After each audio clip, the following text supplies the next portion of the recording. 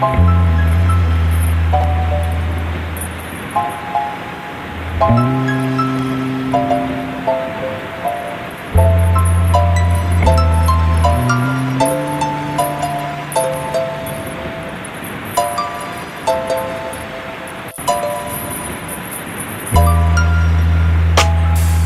négriers l'ont emporté.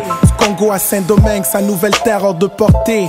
Il avait beau crier, se jeter hors du navire. Sans moyen de vivre libre vaudrait mieux que sa chavire. La tête basse, humiliée.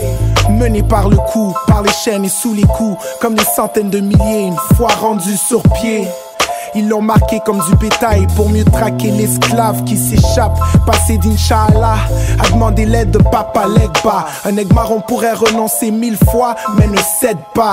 Ici, tout se passe de travers. Il travaille dans les cavernes, parmi les indigènes et des nègres comme lui.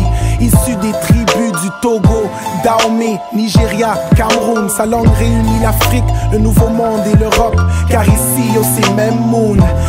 Croire que la terre tourne. Le manque d'indigènes ralentit les mouvements jusqu'à ce qu'il retombe sur lui comme victime d'une jalousie. Il fait face à tant d'obstacles à franchir, aurait pu être un affranchi s'il venait d'Andalousie. Au lieu, il gratte la roche et redonne l'or. Laboure la terre ou charge les navires sur les ports. Donne tant d'efforts sans une graine de liberté. Pour chasser sa fierté, le maître fouette son corps. Ça frappe comme la foudre.